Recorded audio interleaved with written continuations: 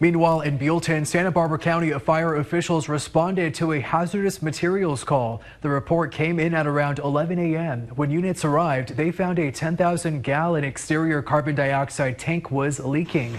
The tank was located at Industrial Way near Highway 246. Hazmat teams were able to shut off the valve isolating the tank. Five employees evacuated the area and had no medical concerns, while businesses nearby were asked to shelter in place. By 12:15 p.m., the shelter in place was lifted and officials announced atmospheric readings were back to normal.